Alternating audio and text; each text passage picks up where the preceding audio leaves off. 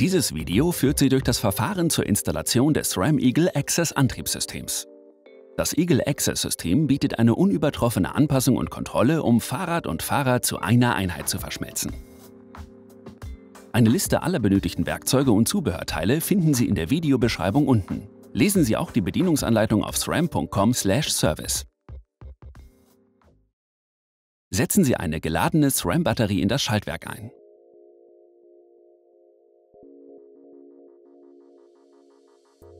Der Access Controller muss zur Übertragung von Schaltbefehlen mit dem Schaltwerk gekoppelt werden. Halten Sie die Access-Taste gedrückt, bis die grüne LED langsam blinkt. Lassen Sie die Taste dann los. Halten Sie die Access-Taste am Controller gedrückt, bis die grüne LED schnell blinkt. Lassen Sie dann die Taste los. Drücken Sie kurz die Access-Taste am Schaltwerk, um die Kopplung zu beenden, oder warten Sie 30 Sekunden, bis die Kopplung automatisch beendet wird. Der Kopplungsvorgang braucht nicht wiederholt zu werden, wenn die Batterien entfernt oder gewechselt werden. Beim Austausch von Komponenten ist jedoch eine erneute Kopplung erforderlich.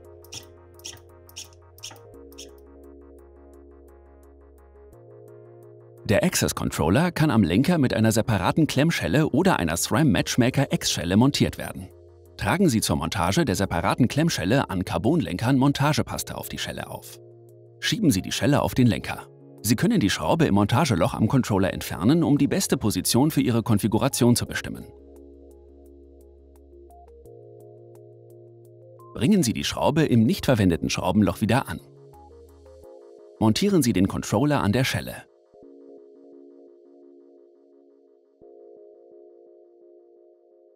Platzieren Sie die Schelle an der gewünschten Position und ziehen Sie die Schraube fest.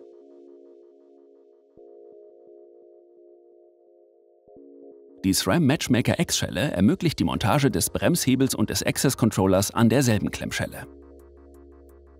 Platzieren Sie den Controller an der gewünschten Position und ziehen Sie die Schrauben fest.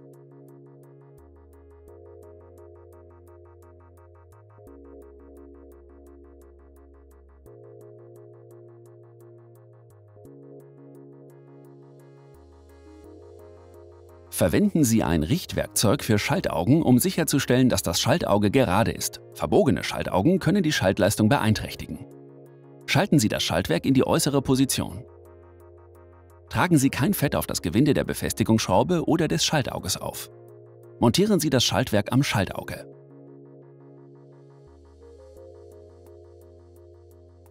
Stellen Sie sicher, dass zwischen der B-Einstellscheibe und dem Schaltauge kein Spalt vorhanden ist ziehen Sie die Schaltwerkschraube fest.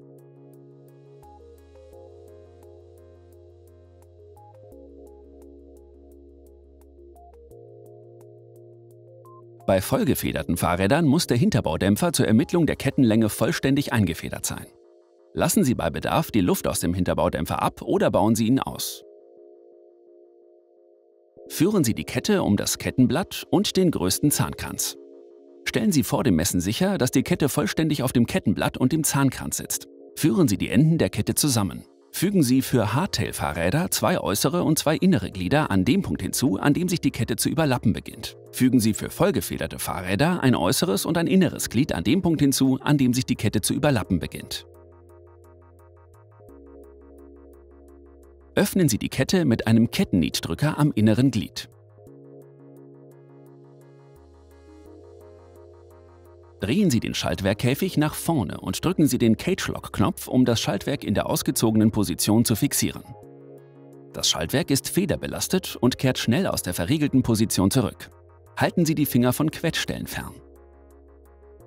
Platzieren Sie die Kette auf den kleinsten Zahnkranz. Führen Sie die Kette durch die Umlenkrollen des Schaltwerks. Bringen Sie den Powerlock-Verschluss an. Ziehen Sie die Enden der Kette zusammen und drücken Sie die Glieder zusammen. Hinweis: Der Pfeil auf dem Powerlock muss in die Kettenlaufrichtung weisen, bevor Sie ihn verschließen.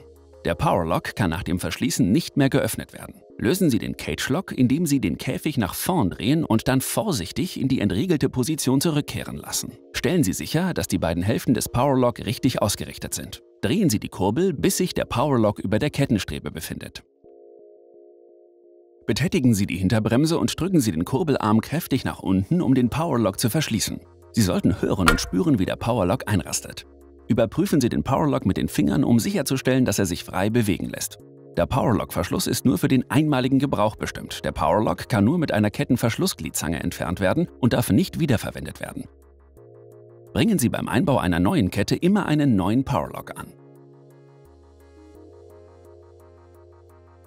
Messen Sie bei vollgefederten Fahrrädern das Chain Gap im Sack.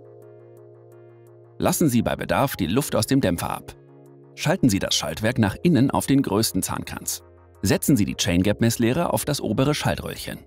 Stellen Sie die Ausrichtung der längsten Zähne des größten Zahnkranzes der Kassette auf den Zahnkranzumriss auf der Leere sicher. Zur Einstellung des Kettenabstands drehen Sie das Schaltwerk im Uhrzeigersinn um die B-Einstellscheibe, um die Spannung von der B-Einstellschraube zu nehmen. Drehen Sie die B-Einstellschraube und lassen Sie das Schaltwerk los. Bringen Sie die Messlehre wieder an, um die Einstellung zu prüfen. Wiederholen Sie dieses Verfahren, bis der Zahnkranz richtig auf die Leere ausgerichtet ist. Schalten Sie die Kette auf den zweitgrößten Zahnkranz. Richten Sie das Schaltröhrchen auf die Mitte des zweitgrößten Zahnkranzes aus, indem Sie das Schaltwerk justieren.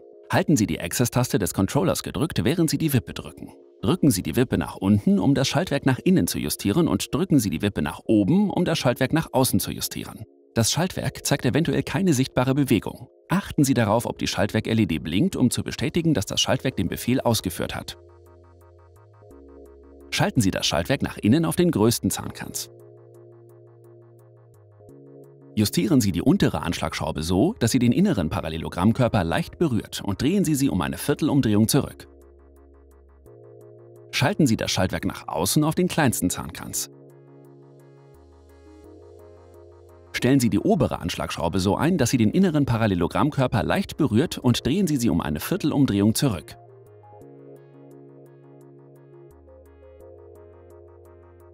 Sie können die Schaltleistung des Schaltwerks optimieren und unerwünschte Schleifgeräusche verhindern, indem Sie die Position des Schaltwerks mit Mikroeinstellungen justieren. Halten Sie die Access-Taste gedrückt und drücken Sie die Wippe des Controllers nach oben, um das Schaltwerk nach außen zu justieren. Halten Sie die Access-Taste gedrückt und drücken Sie die Wippe des Controllers nach unten, um das Schaltwerk nach innen zu justieren.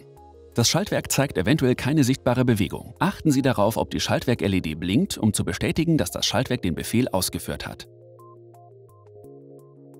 Nachdem Ihre SRAM Access-Komponenten an Ihrem Fahrrad montiert und eingerichtet wurden, laden Sie die SRAM Access App kostenlos in den App Stores herunter.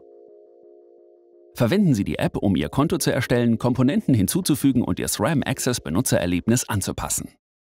Damit ist das Verfahren zur Installation des SRAM Eagle Access Antriebssystems abgeschlossen.